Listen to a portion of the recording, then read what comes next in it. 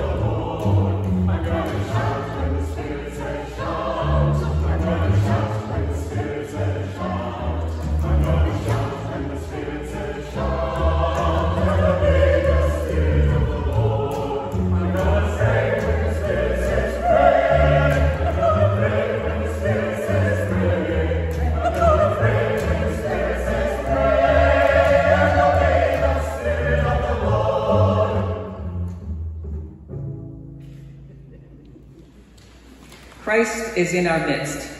How will you bid him welcome?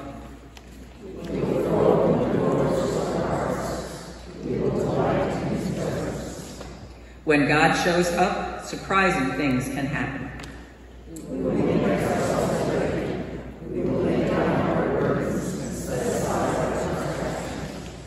Here we receive good news. Nothing is too wonderful for God.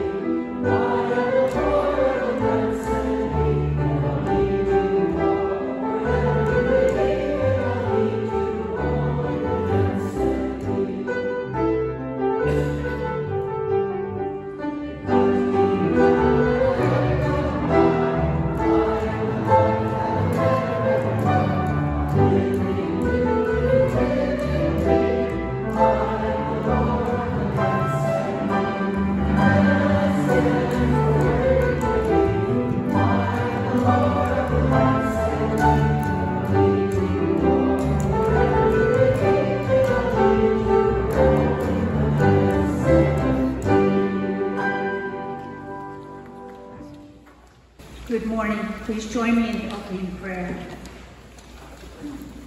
Wonderful, surprising God, you bring us hope when we are discouraged, peace when we are anxious, and joy when we are least expecting it.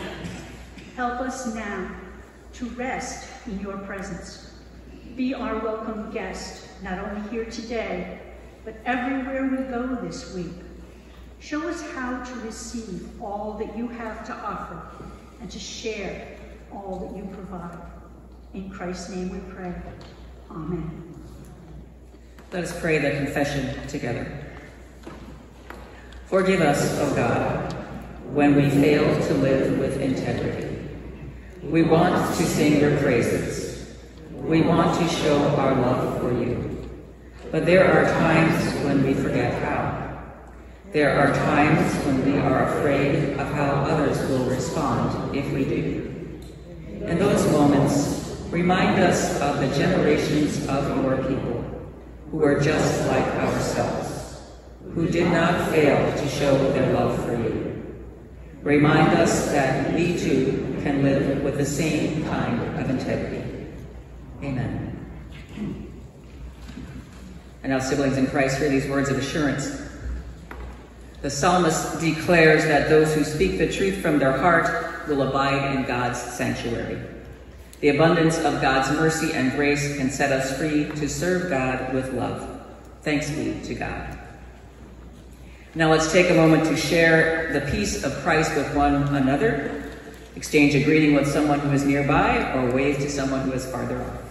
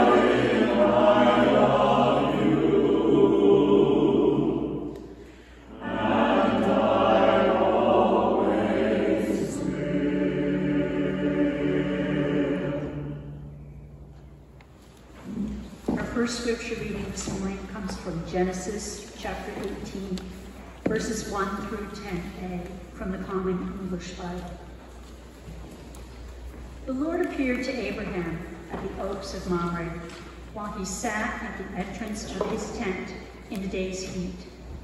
He looked up and suddenly saw three men standing near him.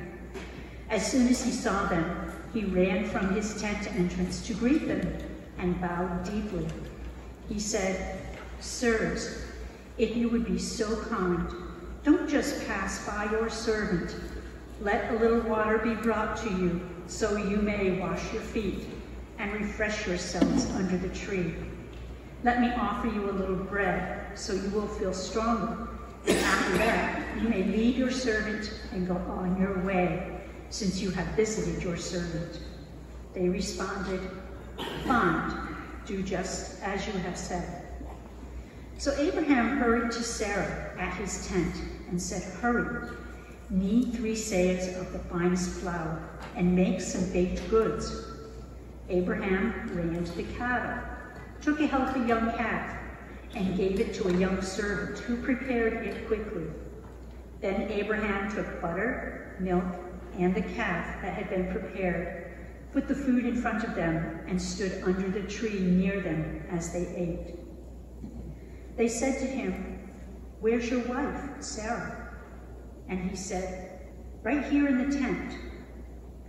Then one of the men said, I will definitely return to you about this time next year. Then your wife Sarah will have a son. Sarah was listening at the tent door behind him. Our second reading comes from Luke chapter 10, verses 38 through 42 from the New International Version. As Jesus and his disciples were on their way, he came to a village where a woman named Martha opened her home to him. She had a sister called Mary who sat at the Lord's feet listening to what he said. But Martha was distracted by all the preparations that had to be made. And she said to him and asked, Lord, don't you care that my sister has left me to do all the work by myself? Tell her to help me. Martha, Martha, the Lord answered, you are worried and upset about many things, but few things are needed, or indeed, only one. Mary has chosen what is better, and it will not be taken away from her.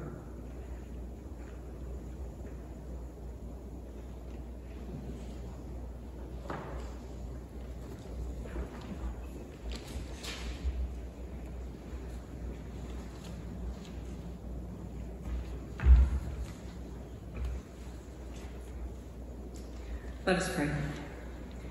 Gracious and loving God, we give you thanks for these ancient words of wisdom. We are grateful for those who took the time and made the effort to record them so that we would still have them today. We ask that you would bless our hearing and reflecting upon them this morning so that they would speak to us across the centuries and teach us the lessons that you would have us learn for the living of our lives. We pray this in Jesus' name. Amen. My husband Keith and I used to own a tandem bicycle. And when we lived in Houston, Texas, and our two daughters was, were still quite small, we towed a lightweight trailer behind the bike so we could get the whole family out together for bike rides. The trailer had room for both girls and enough books, toys, and snacks to keep them amused for the duration of our outing. One weekend, we were winding our way through the suburban subdivisions on our side of the city, and we found ourselves not too far from the home of some friends. So we decided to drop in on them. Nancy and her husband Jim had two little boys who were about the same age as our two little girls. So our families went on camping and all kinds of other adventures together. We hadn't called ahead that morning to tell our friends that we were coming because we hadn't planned a destination for our bike ride. And this was before the age of cell phones, so we couldn't even phone to check to see if they were at home. We just rolled up unannounced and knocked on the door. And of course, all four of them were delighted by the surprise visit. I remember telling Nancy that there were very few people that I felt comfortable just dropping in on like that. She said the feeling was mutual. She knew she could drop in at our house unexpectedly and be welcomed without causing worry. At that point in our lives, neither of us expected the other's home to look like Martha Stewart's, nor did we expect each other to disappear into the kitchen and return sometime later to serve specially prepared and perfectly presented refreshments. Feeling welcome in one another's homes didn't depend on any of that because authentic hospitality is an attitude, not a task. Our lesson from Genesis this morning describes Abraham and Sarah's extravagant welcome of three visitors that the scriptures identify as God. The trio speaks as one, and this may be the first biblical suggestion of God as Trinity, even though these verses don't explicitly say so. But Abraham clearly recognizes the divine presence and rep represented by the three and receives these guests most graciously. He offers water to refresh weary feet and a shady spot to rest. Then Sarah and the servants prepare a special meal, and Abraham attends to the visitors as they eat it. For their hospitality and attentiveness, the couple is promised the blessing of a longed-for child. Is this kind of extravagance any different than what Martha is about when Jesus comes to visit her and her sister Mary in today's gospel lesson? Isn't Martha in the kitchen busily preparing things to tend to the needs of her guests as Abraham and Sarah tended to their guests? But rather than being thanked for her choice to serve, Martha is told that her sister has chosen what is better. Isn't this a curious statement coming from the same Jesus who tells his followers, the greatest among you must become like a person of lower status and the leader like a servant? Martha has chosen to serve Jesus as he visits, but Mary has chosen what is better? Well, that's a paradox, isn't it? What are we to understand about Martha's choice to serve? For any organization or household to function, there is work that goes on behind the scenes. There are always people working in the background, out of the spotlight, who help without receiving recognition. Just think about all the things that happen at this church without most of us having to think about it. There are people who take it upon themselves to do all kinds of stuff, so the rest of us don't have to worry about it and may not even notice. People among us weed flower beds and wash coffee pots, make phone calls and send cards, work on fundraisers, and drive people to appointments, volunteer at our partner agencies and serve food at re funeral receptions, and so many other things that I probably don't even know about. These humble servants are essential for us to function as a healthy community of faith. I don't believe Jesus' conversation with Martha is contradicting what he tells his followers elsewhere in Luke's gospel about serving. The story of Martha and Mary follows immediately after the Good Samaritan story, which Jesus offered in response to a question from a scholar of the Torah. In a way, these two stories together reflect the answer to the lawyer's question about inheriting eternal life.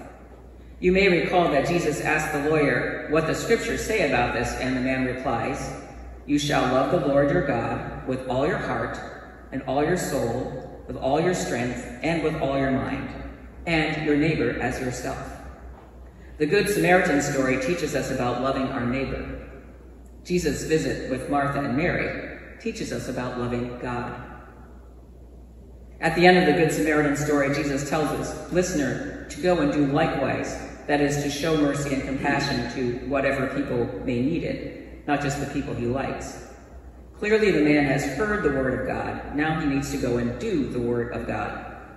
Loving neighbor in this case becomes a verb. Go and do something in response to your feelings about what you've observed. But to Martha, Jesus says that while he is visiting doing something, is not as important as simply being in the presence of God.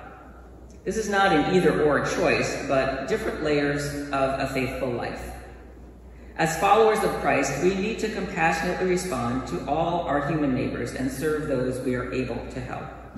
And we need to make time to spend with God, to tune our hearts, our souls, our strength, and our minds to God's intention for us, to learn from God how we can become what God created us to be. The truth today is the same as it was in the time of Jesus' visit with the sisters. Many of us live busy lives like Martha. I don't know about you, but I make to-do lists. I'm afraid I might forget something if I don't. But an even bigger fear for me is that my ministry could deteriorate into a list of tasks to perform. Sure, there are things that need to be done as I temporarily serve this church. For example, I need to remember to show up on Sunday mornings. and it's better for you and for me both if I show up with a sermon prepared. Those are essential weekly tasks, but I don't want my need to finish the task to interfere with nurturing our relationship with each other or to interfere with nurturing my relationship with God. That would be spiritually unhealthy for me and would adversely impact my ministry with you. Many of us today live busy lives like Martha. Today's cultural cues only fuel the busyness. I'm old enough to remember when Sunday was the day of the week that was empty of business and busyness. But over the years, Sunday has become a second Saturday. Rest is viewed as unproductive, and relaxation is considered laziness. The cultural expectation is continuous productivity. My friend Nancy and I were no Martha Stewarts, but as stay-at-home moms in a community of dual-income households, both of us were aware of the expectation that maybe we should be. Part of what made us so comfortable with each other was that we didn't have those expectations of each other. I knew when I dropped in that it wouldn't cause her to worry that she hadn't had a chance to vacuum that morning. Or if she stopped in on me, I would likely break out a box of Girl Scout cookies because I hadn't taken time to bake muffins that morning. We had no need of impressing each other. We came to enjoy each other's company. We knew ourselves and we liked each other, which made for a very comfortable friendship.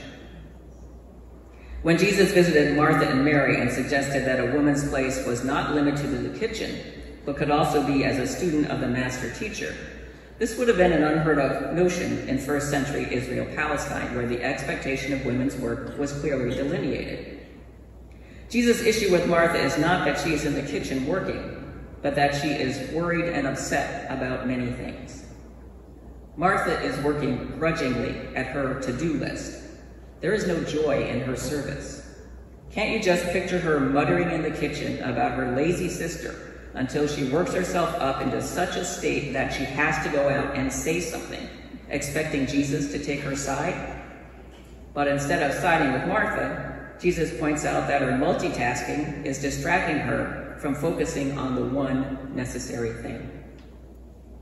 To serve or to listen, the work or the word. This is not a choice between opposites, but the same thing if whatever we are doing is done with love. If we are Christ-centered, there is no room for distraction. Our faith opens our hearts, informs our minds, feeds our souls, and strengthens us to do our work. When we love God first, when we make time to nurture our relationship with God, then we are able to serve, not grudgingly, but with joy. Is God welcome to drop into our lives unannounced? Can we make room in our busyness to receive this most honored guest? Not just on Sunday morning when we expect to encounter the divine presence, but whenever God rolls up the driveway and knocks on the door? Will we be embarrassed because we didn't have a chance to tidy up before God got there? Or flustered because we didn't have time to fix a fancy snack?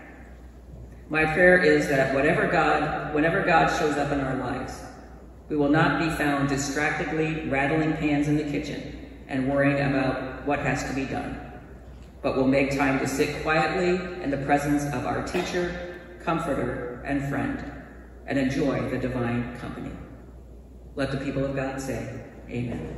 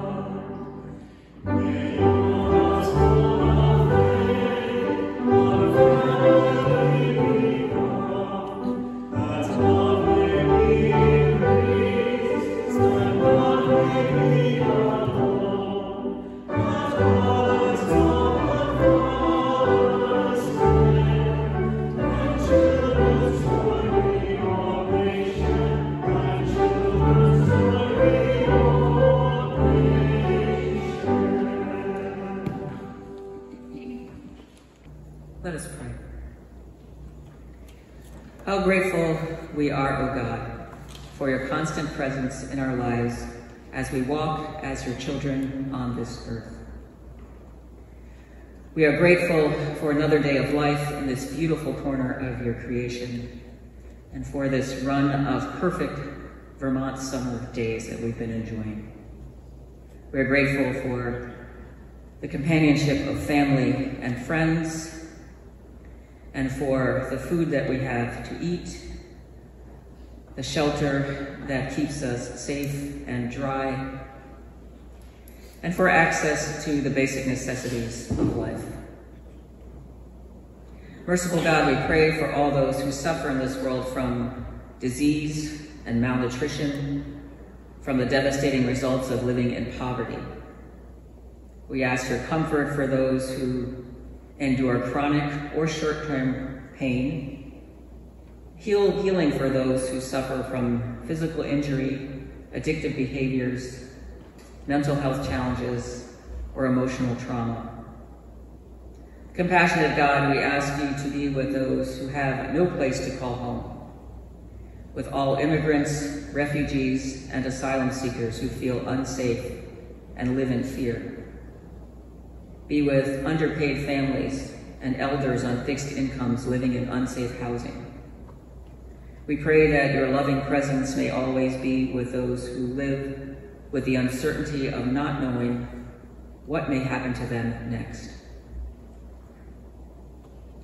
Gracious God, we pray for those who are experiencing disasters of nature, including extra warm temperatures causing water shortages in some places, while extra hard rain causes devastating floods elsewhere.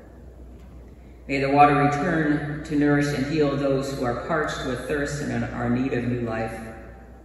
May the water recede from places with too much so that people may resume their lives in safety.